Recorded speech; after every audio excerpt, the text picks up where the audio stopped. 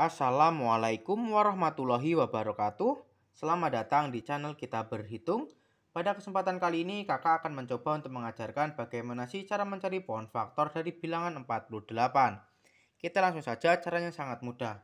Untuk mencari pohon faktor dari bilangan 48, kita harus membagi 48 menggunakan bilangan prima mulai dari yang terkecil.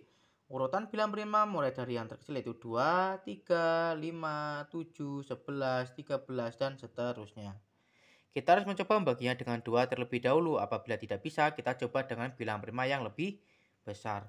48 merupakan bilang genap sehingga pasti dapat dibagi 2. 48 dibagi 2 hasilnya 24. 24 masih dapat kita bagi 2 lagi hasilnya 12.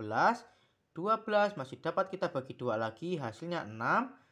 6 masih dapat kita bagi dua lagi hasilnya 3. 3 merupakan bilangan prima. Apabila sudah menghasilkan bilangan prima, maka pohon faktor dianggap sudah selesai.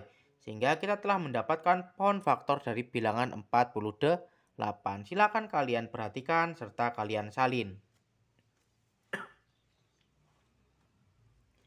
Kemudian, dari pohon faktor yang kita dapatkan, kita juga bisa mendapatkan faktorisasi prima dari 48 dan faktor primanya.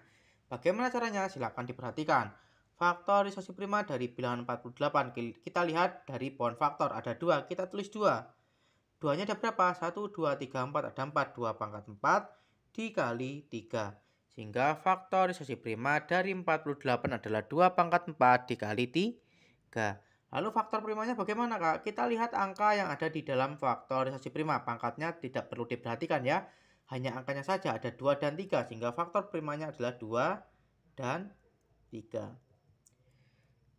Bagaimana adik-adik? Apakah kalian sudah paham bagaimana cara mencari pohon faktor dari bilangan 48? Apabila kalian sudah paham, kalian luar biasa. Apabila belum paham, silahkan ulangi lagi videonya. Dan apabila ada yang ingin ditanyakan, silahkan tulis di kolom komentar.